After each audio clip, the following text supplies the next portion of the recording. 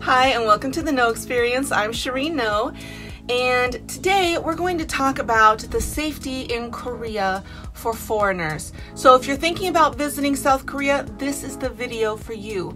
So, let's get right into the video.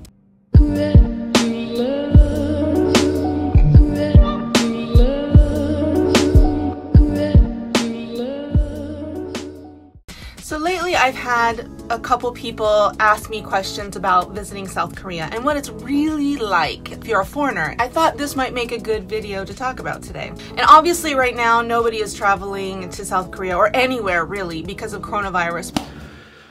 Tell me something I don't know. But because there are vaccines coming out now, probably eventually people are going to be able to start traveling again. And many people are going to be interested in coming to South Korea. So I'm sure that you have heard some things about Korea and the safety and wondering if it's actually true, getting the perspective from an actual foreigner living here. So thought this would be a good topic today. The first thing I want to say is the safety in South Korea makes me really uncomfortable. Like really uncomfortable.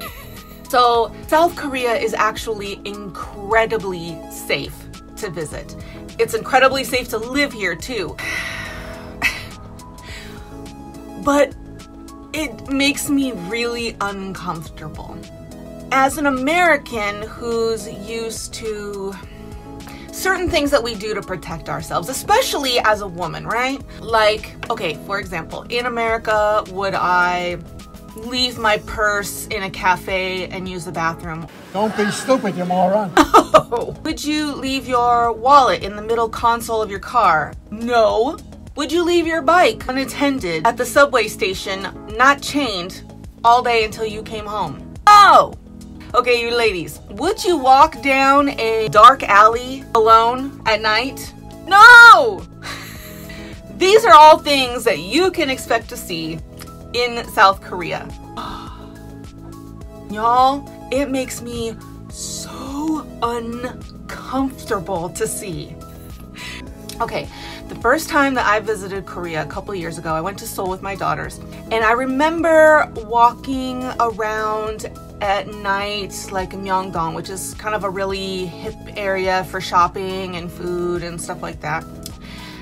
I remember, and it's really busy. It's pre-coronavirus, but it was super busy place. It's really crowded. I remember seeing a woman with a stroller, and she stopped in front of like this. Um, I think it was Innisfree, like a, a makeup, skincare store. She left her stroller in front. Not such a weird thing, maybe, but on the stroller was her Louis Vuitton handbag. Unattended. I don't even know if there was a baby in that thing because I was too shocked to look. It's just, I was just like, what the freak is going on? And I thought that would be the only time I'd see something like that, but it wasn't. And if you come to Korea to visit, it will not be the only time you see things like that. And it makes me so uncomfortable. Like, I felt personally responsible to hover around her stuff to make sure no one would take it. And the problem with that is that being a foreigner, they probably think, oh my god, this foreign woman, this tall white American, is hovering around my Louis Vuitton bag. And they probably were like, she's thinking about stealing it. And instead, I'm trying to make sure no one else is gonna take it. Oh, so many times in cafes that I go to to get coffee and work on my homework, I will see people all the time leave their laptop and their wallet and their phone on the table and go to the bathroom. Koreans just don't understand how bizarre that is and how stupid it would be anywhere outside of Korea. I can't help but notice it. I can't help feel like I need to be responsible and make sure no one's gonna touch their stuff. But the thing is, is no one's going to touch their stuff. Korea has one of the lowest crime rates in the world. And that's probably contributed to the fact that there's CCT cameras everywhere.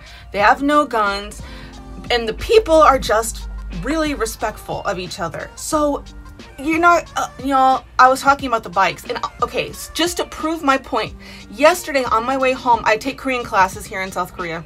As I was walking home, and I took these pictures that I'm showing you now of these bicycles, unattended, not chained, just randomly left here, to prove my point to y'all that you will see this anytime, anywhere. You would never do this in America. Even if it was chained, y'all are still running the risk of it being stolen, and you know I'm right. And you know, I was talking about the wallet left in the car. Okay, I'm from Oregon. If you've watched my videos before, you you know you've heard me talk about this before. There was a time where I left like 50 cents in the little compartment in my car and someone broke into my car in the daylight to steal the 50 cents out of the center console in my car. Dude, that is harsh. No, Everyone in America knows you never leave anything of value that's you can visibly see in your car. You want it to look like there has never been a soul in that car, so no one is tempted to take anything. But here in South Korea, oh my god, my husband has left his expensive Canon camera and all its equipment in the front seat of the car. He always always leaves his wallet in the center console of the car. Like all the time and it makes me so uncomfortable. Y'all, you you think that living in a safe society, especially coming from America, we think that we're relatively safe, but we do take obvious precautions in everything we do because we know it is not safe to live in America. But you come to a country like this where you bring all of your immediate um, precautions and you see other people, everyone around you not take the same ones, it makes you super uncomfortable. Like you'd think that it would be freeing and liberating, and it, I mean, it should be, but it's not. I, I feel like this inner, inner turmoil every time I see it. Like I just want to scream to them, "What are you doing?" Y'all, especially women, do not be afraid to travel to South Korea. Don't be afraid to travel alone to South Korea. There's no, almost no chance of any problems. You are coming to one of the most safest countries in the world. But don't be surprised if you feel the same way I do, which is I, which is that unease, that uncomfortableness when you are shocked to see some of the the things that you'll see because it's a wonderful country.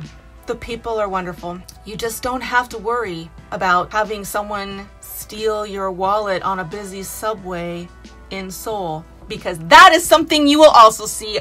You will see people with their backpacks on their actual backs. And I've so many times seen the zipper unzipped and their wallet is just hanging there. There's been two times I can remember where I actually tapped the, the young woman on the shoulder and told her, her her wallet was about to fall out. Still, to this day, I still put my purse in front of me everywhere I go, especially someplace busy, and I put my arm on it like I'm protecting Jesus. Maybe you will feel completely liberated and refreshed. I still feel uncomfortable. Anyway, I um I hope you liked this video. Please don't forget to subscribe and, and hit the bell notification so you actually get notified when I upload a video. And if you'd like to support the channel so that I'm able to continue making these videos and show you more of South Korea, you can do so at patreon.com slash the no experience. So until next time, my friends, stay classy, YouTube. Bye.